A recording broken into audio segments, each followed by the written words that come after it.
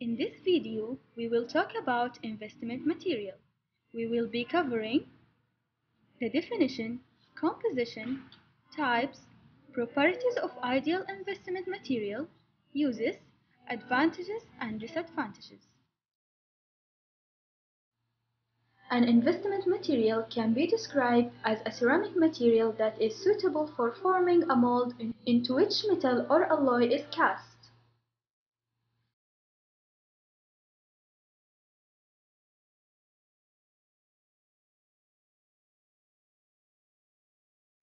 The investment material consists of a mixture of three components.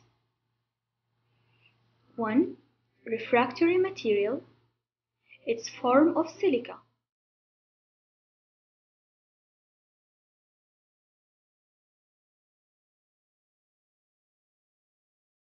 2. Binder material, it's capable of binding the refractory material to form a coherent solid mass. 3. Chemical modifiers, non-oxidizing agent retarders, accelerators, and coloring agent are added to the refractory and binder material to enhance their physical properties. There are three types of investment material. 1. Gypsum bonded investment. These are used for conventional casting of inlay, onlays, crowns and partial denture made of gold alloy. They can withstand high temperature. 2. Phosphate bonded investment. These are used primarily for alloys that have to be cast at higher temperature than gold-based alloys. 3. Silica bonded investment. These are alternatives to phosphate bonded investment for high temperature casting. Principally, Use in casting of base metal alloy partial denture.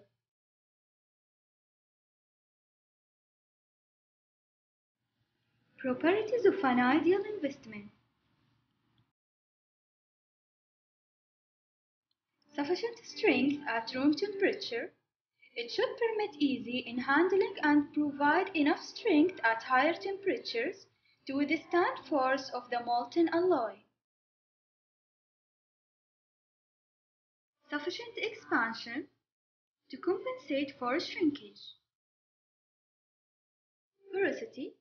It should permit easy escape of air or gases from the mold cavity. Smooth surface to preserve fine detail and margins on the casting. Easily manipulated.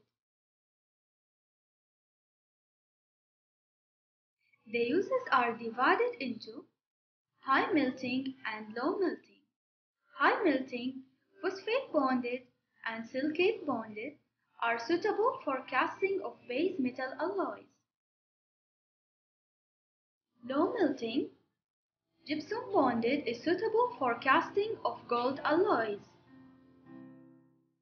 Advantages 1 thermal expansion due to polymorphic displacive transformation of silica.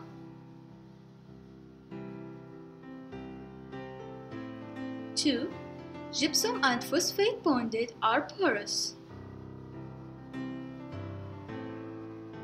3. Phosphate bonded is used with both high and low melting alloys. Disadvantages 1.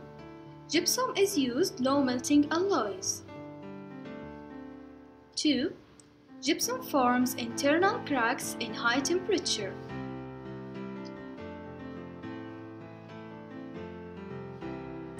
Three, silica bonded is non-porous.